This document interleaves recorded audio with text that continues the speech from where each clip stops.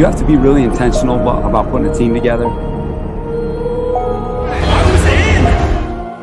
Crawled out of the pound and started screaming. How good is Joey Bosa? Herbert. Rolling, looking, throwing, end zone, touchdown, intercepted. Derwin James. Derwin was there. You got to be on a mission every day in the NFL. But even more than that, you got to be on a mission together. Great hands, Keenan Allen. The Los Angeles Chargers select Rashawn Slater. Asante Samuel Jr. That was that. Oh, I'm stopping y'all boys. That's gonna take me. Intercepted. Picked up by Michael Davis. Explosion, explosiveness from Ekeler.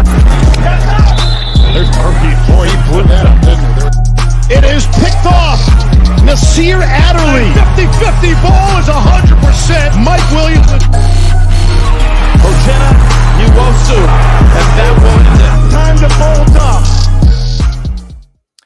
Welcome to another episode of Chargers Unleashed. Jake Hefner and Dan Wolkenstein here with you from the LA Football Network. You can, of course, find us on Instagram, Facebook, and Twitter at LAC underscore Unleashed, on YouTube, and wherever you find your podcast. This episode today is being brought to you by Brewery X, UFC Fit and Temecula, Charger Bolt Family, and Manscaped. Make sure to use the promo code LAFB20 and get uh, get free shipping off of manscaped.com. if this is your first time tuning in, welcome and thank you for checking us out. Super excited today. Dan, as of today, we are officially 10 days away from the week one matchup. Chargers against the Washington football team. And what better way 10 days out to put us in the mood with a special guest? As always, I leave the floor to you, sir. Do the honors. Yes, we have a special guest in the house today from Mesa, Arizona, fellow Jack Rabbit and Utah State Aggie. He has dabbled a bit in basketball and volleyball before committing to football, where he became the first football player in Utah State history to earn freshman All American. In 2018, he had two separate three sack games against Josh Allen and Russell Wilson to finish the season with 10 and a half sacks. He is now reunited with Corey Linsley and Brian Bulaga here in LA, rushing the quarterback on Sundays. Kyler Fackrell has been flashing all over preseason, balling out on defense and special teams, and is now kind enough to take a few minutes to join us on Chargers Unleashed. Kyler, thank you so much for joining us on the show. How are you? How's the family? Hey, thanks for having me. I am great. The family's great. The weather's great. The beach is great. We're we're happy to be here in Southern California. Yes, the, the weather is great. The fact that you're able to be in Southern California, we were talking about offline. The fact that you're still able to wear the beard with it being this warm, uh, I'm impressed. I give you kudos, my friend. I appreciate that. Getting a little hot, uh, but I think we'll keep it for a little bit longer. Yes. Who has the best beard on the team before we get started? Who would you say has the best beard? Uh, I it always looks the best on the big guys, I think. So I mean, it's got to be between Filer and and and Linval. I think Linval's got got the best beard, even though it's always hidden behind that mask. Ain't that the truth? Ain't that the truth? So look, I know you just got out of practice. Uh, how was practice today? Anything stand out to you? It was great. No, it was just it was good work going into a little bit of a longer weekend, thankfully. So uh, yeah, it was. I mean, we went hard, padded practice. So um, yeah, just kind of trying to get the win, get get everything ready for for the real thing. Love it. Love it. All right. So we're going to talk about all kinds of things. We'll go into week one against Washington football team. We'll talk about training camp, learn a bit about you and this defense, Justin Herbert, go into a little bit more of you off the field, maybe what motivates you, maybe get to some rapid fire questions, get you know a little bit better. But let's just start with kind of your decision to join this team in LA. You, you've played with some pretty impressive defensive players in your six years in the NFL. What was it about the Chargers team and this defense that was so intriguing for you to sign with this team this offseason? Yeah, it was. I mean, I think a lot of it, honestly, was I had a great conversation with Coach Staley, and uh, you know he knows me a little bit from having coached in Chicago, and and I was in Green Bay, um, so he knows of me from from kind of that connection, and uh, and just kind of hearing him talk about the scheme and the defense, um, I think we both kind of felt like it would be a really great fit. Um, and other than that, we I mean, as far as location wise, we I'm a West Coast guy. My wife is a is a West Coast uh, girl, so we're uh, excited to be back in the West for sure.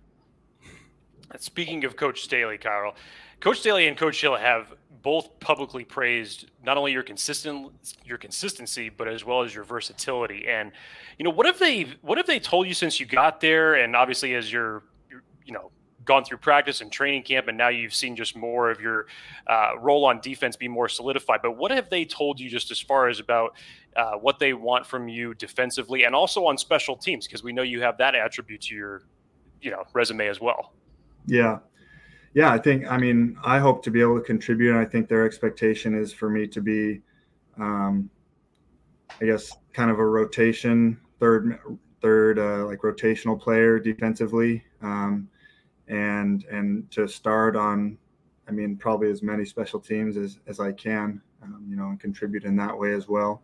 I guess I, it hasn't been super spelled out. We're still i mean we're really kind of just closing camp and and i think the focus has been more on and just kind of individual improvement and kind of you know working to get better. Um, but I, I, think that conversation is coming as far as moving into the season what um, what the roles are going to be at this point and we've had your teammate Drue Tranquill on with us previously, and and um, you know we talked about the mentality required to excel on special teams and how important that phase of this game is, especially with what we've heard Coach Staley talk about recently.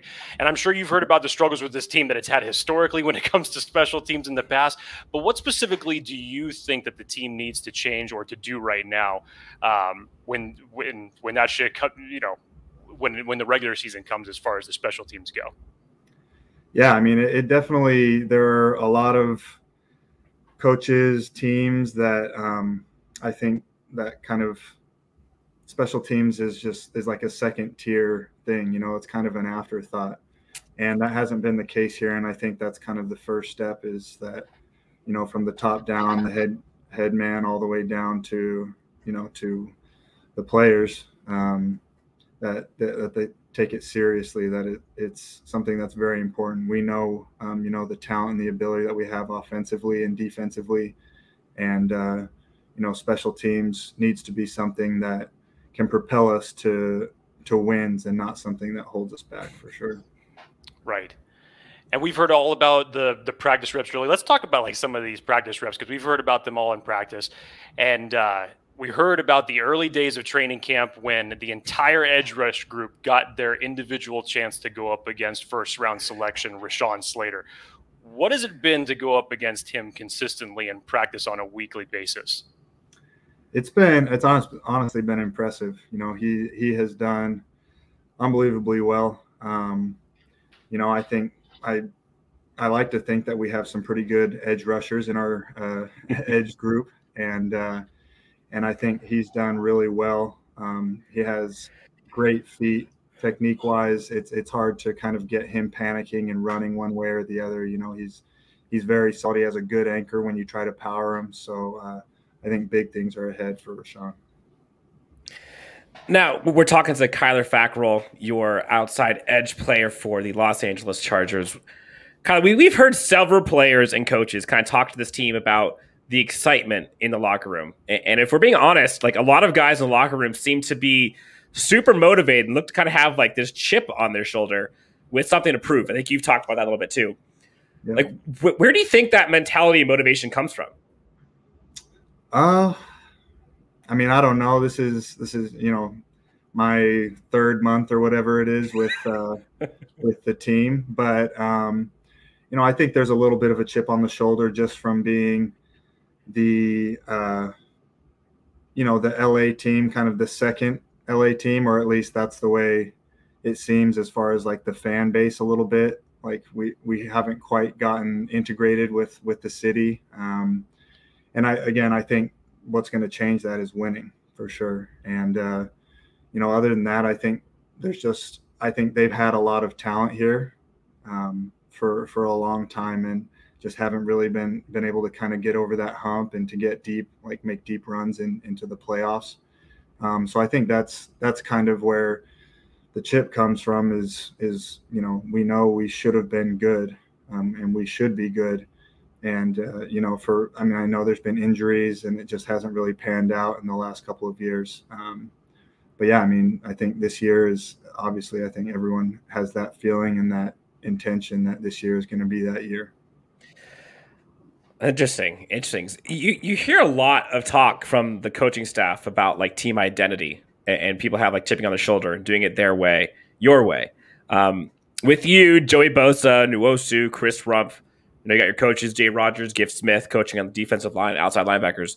Like, how would you define the makeup and identity of the edge group specifically? I think I think we have a lot of of talent on the edge, and I think we can make a lot of things happen. And I think a great thing about again about uh, just the mentality of Coach Staley and and Giff and, and Jay is that they're going to let us be free. You know, we we still are learning each other as far as being able to play off each other naturally while rushing with you know certain inside guys. But I think they they really have set it up to where we can go inside or outside and then there are certain there are kind of specified times when the inside guy can go inside or outside and we're playing off of them. And uh, so yeah I, I think it's going to be it's going to be really organized and guys are going to have a clear idea of of what they can do as far as where they can take their moves and pass rush lanes. And uh, it's going to be a lot of fun once we kind of get a good feel for each other and and the bullets start flying now, folks who have seen highlights or have seen you back when you were with with the Packers or with the Giants, you know, we've seen like the 10 and a half sack year. We, have seen a lot of like the hustle, instinctive plays. You kind of seem to have a very heady way of going about doing things. What do you think? Like, what should fans expect from you this season on defense, specifically, like from you? And like, have you heard anything from the coaching staff? Like, are you starting? I know you mentioned you're kind of going to be in rotation. Is there going to be like a defined number two behind Joey Bosa? Like, what's that whole situation going to be like for you guys? Uh, as far as starting and stuff, I don't know. You know, that's still kind of, I guess that's a question for the coaches. I'm I, that hasn't been declared. I, am not sure at this point. But uh, as far as um, you know, what to expect from me, I think this has been my best training camp um, since I've been in the league, and I feel like I've um, just as far as the the personal improvement that I've made. Um, so I, I, feel confident. I feel great going into the season, and you know I hope to be a playmaker on the edge. So Kyler, most who follow the team and your background know your your college history at Utah State, and then of course with the Packers and the Giants. But there is not much out there, not many people out there that know much about you off the field. I know you had mentioned obviously that you know you're a West Coast guy at heart. Um, you know, bring us into bring us into your home, bring us into the day in the life of Kyler Fackrell. Uh, outside of football, what makes Kyler Fackrell tick? Fill us in on some of your your passions, um, priorities off the field, if you will. Yeah, I'm I'm full on into the dad life. I have a beautiful beautiful wife, Liz, and we have uh, three beautiful children, uh, two girls and then a boy, Delaney, Lucy, and Benjamin. And uh, so, yeah, I mean, as you can imagine, that's that takes up the majority of the time. Those those kids, uh, any any off time that I have, uh, it's usually spent with with my wife and kids. That's great. That's great. Now you got the distinct player to play with one of the best quarterbacks in the league over in Green Bay with Aaron Rodgers. Justin Herbert has all the tools in and out of the huddle to be special. How would you compare what you've seen from Justin early in his career compare that with what you got a chance to see with Aaron during your time in Green Bay. Yeah, I mean, like you said, there's no doubt that he has all the uh, the ability, and I think really he has the kind of the intangibles um, that a quarterback needs. You know, I haven't been around him for super long, but he is he's a quiet guy, so he's not necessarily going to you know be screaming and yelling on the sideline, which personally I like. But um, you know I know that Peyton Manning, you know some of the other great quarterbacks have you know they can get heated and animated and stuff like that. But uh, no, I think Justin the throws, the plays that he can make with his legs, um, you know he's a, he's a unique talent, and I think he's been. Um, he's been great in the locker room. You know, I, I know that he commands a lot of respect from from all of us, his teammates in the locker room. Um, so I'm super excited to see what he does on the field this year. Nice. Now, finally, we're 10 days away, September 12th, week one against the Washington football team's coming up. How much have you and the team started to prepare for that matchup? I know, obviously, just you know, normally we'd be talking about week four of the preseason, but this, you know, circumstances have obviously changed in the last year. But right. what do you see as the keys of being able to come away with a victory in week one? We haven't. It's been more about us, honestly. Even up to today's practice, um, we haven't really looked too much at Washington at this point. It's been about kind of finishing off camp right and getting ourselves right um, to begin with. So I, I, I, don't know too much about Washington. Um, you know, I know, I think uh, Fitzpatrick is going to start.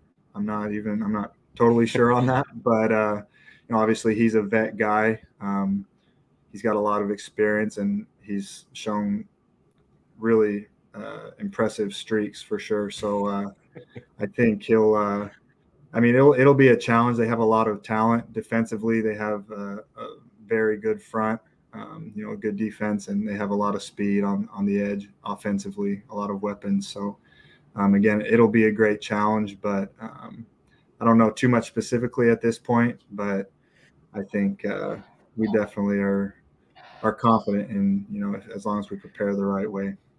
I'm sure, I don't have to. I'm sure I don't have to tell you this. Oh, go ahead, Jake. You go first because I, I was just going to say. So basically, in short, whoever's wearing the quarterback jersey your goal is just to put him on the ground. that was it. always, always. Yes. And I was gonna say, so Jake and I, we've done a few years of looking at like draft prospects and things. Um, that number twenty-four, Antonio Gibson, that guy is a playmaker on Washington. Please don't let him score against us because I'll never hear the end of it. So just keep an eye on him. Do me a favor, yeah. all right? yeah, I mean, yes, we. I'm sure we'll we'll have to we'll have some special things uh, you know, designed designed to stop him. He's he's definitely uh, a force to be reckoned with.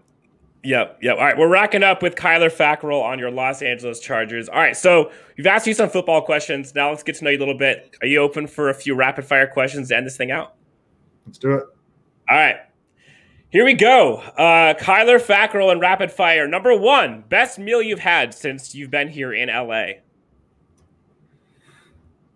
Um, I'm gonna have to say uh, we went and got some uh, some steaks from the butchery, and uh, my wife. It was actually when I got home from uh, from a game. They had uh, like a nice wagyu steak cooked on the grill, and uh, yeah, I know a homemade meal, and I think that's that's the best one since I've been here. I yes. literally was just ta- I was just talking to my wife. She asked me like, "What's one food you haven't had before that you would always love to try?" And I said like wagyu steak. I literally talked about this like four hours ago. That is weird. Really? Yep. Um, Highly recommended. Thank you. you heard it here first.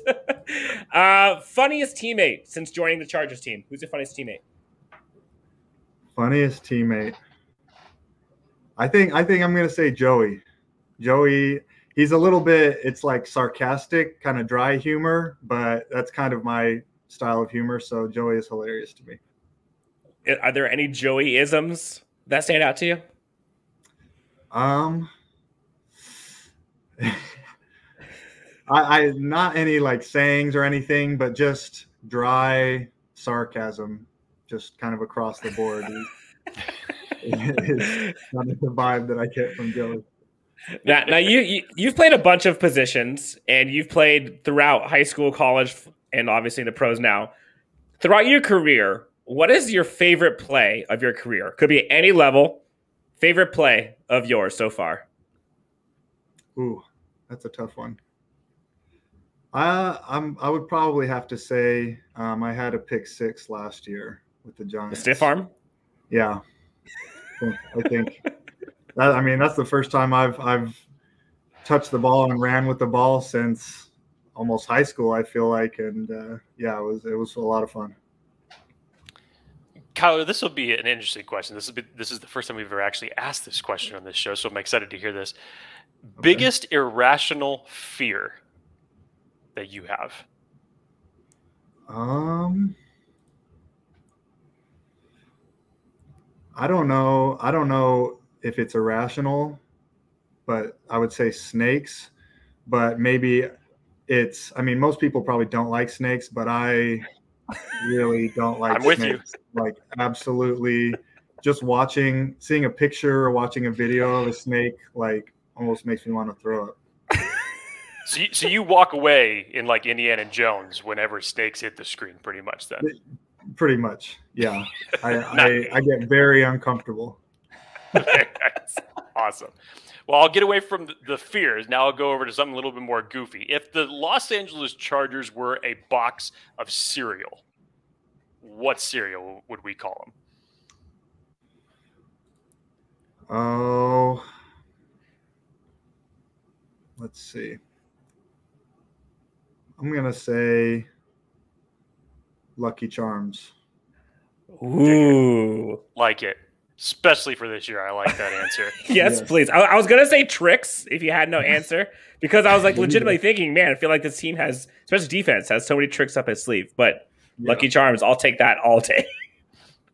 All right, it's game day. Heads in the locker room, hour before kickoff, getting your mind right. You got the headphones on. What's on Kyler Fackrell's playlist on game day? Uh, it's a little bit of, it's kind of a mix of some rap and hard rock. It's like just specific songs, but uh, I don't know. There's some, there's some Kanye West, some Jay Z. There's some uh, Rage Against the Machine. Oh, Yes. Kind of a little bit of a, kind of a, a mixtape. I like Now, it. now, now, you are you for or against Drake as a like hype song or hype music? again i don't i it's not like a whole an entire artist for me it's specific songs so there i think there are i think i've got a drake song or two on the playlist i don't i can't think of what it is on the, off the top of my head but i think he's got some some great songs for sure We- We've we've had some players on the show, and they are like so against anything Drake when it comes to hype music, and other people like die by Drake. It's hilarious. it is yeah he's Last- kind of polarizing The last question here for you, Kyril. We've all had plenty of time over the last year and a half or so to spend time in front of our television and binge watch television shows or series or whatever it is. What's the last show or series that you got an opportunity to binge watch? Um over over the otas i was here by myself i watched uh and i'm not done with it but uh the last kingdom it's Okay, uh, uh, yeah, It's on I've heard of Netflix. this. It's kind of like it's a little bit like Viking, but it's after like the the Viking show from History Channel. It's later in Mhm. history than that. Um, but it's it's England. Um, and again, I'm not done, but it, I, I was really enjoying um, what I was saying. Very nice. I'm I'm I want to say I'm ashamed by how many Netflix series I've gone through during COVID, but I feel like everyone at this point has gone through all of the Netflix and Hulu and Yeah. Disney Plus. We're all in the same boat, I think. Yes. Yeah, yeah. Don't even get Jake started. I have yet to finish the Marvel Phase One, Two, and Three, and I'm way behind Oh, on those. yeah. I know. You have you have you seen Infinity War and Endgame? No, no. I and everyone. If you really want to be upset right now, Kyler, Oh no! I go. uh, going through it, it came up to the point where Dan had to watch The Winter Soldier. It took Dan four times just to finish Winter Soldier. He would Oh, send me text messages of the TV of him, of him watching. He's like, "Okay, hey, great." And I talked to him later in the day. He's like, "So what'd you think of it?" I didn't finish it. Like, what are you talking about, dude? How did you not finish it three times and it took you four times to finish the movie? Look, Oh, I, it, there's a lot of movies. I just finished Guardians of the Galaxy, so I'm on my way. But yeah, I got a long way to go. There are, I'm there are I mean, what, there's like 22 movies or something Yeah. in the whole thing. So I, I mean, it is a lot. And I literally didn't know that all those movies were connected until Jake told me like eight months ago. He's like, "Did you already, watch the ha- I end of already the have my movies?" tickets for Shang Chi, so I, I'm ready to roll for tomorrow. So I'm good. All right. Well, clearly we need to end this interview so we can go and watch more Marvel movies. Kyler, thank you so much for joining us. Honestly, this has been such a blast, and I can't wait to see you on the field in what ten days now. I mean, how do you, just okay, real quick, how are you feeling about just the like the season starting? Like, how what are you up to between now and then? Like, how are you going to contain your energy? it's about time for sure. I mean, I'm, I'm Yes, sick sir. of practicing against the Chargers offense. You know, I, I want to, but do something different. Um, Hit somebody with a different colored jersey. yes, exactly. Tackle somebody for real, sack the quarterback for real, all There that. you go. Can't wait. There you go. Well, hey, best of luck to you. I hope you guys are lucky charms all season. Thank you so much for joining us, and uh, we look forward to seeing you ball out on Sundays. All right. Awesome. Thanks, Dan. Thanks, Jake. Hey, best of luck to you and the family, and uh, we'll talk to you soon. All right. Don't be a stranger. All right. Appreciate it. The Los Angeles Chargers select Rashawn Slater, Asante Samuel Jr. Stop! Oh, I'm strapping y'all boys. That's gonna take me. Intercepted. Picked up by Michael Davis. Explosion. Explosiveness from Ekeler. There's Murphy. Boy, he blew that up, didn't he? It is picked off. Nasir Adderley. 50-50 ball is 100%. Mike Williams. Uchenna Nwosu. And that will end it. Time to bolt up.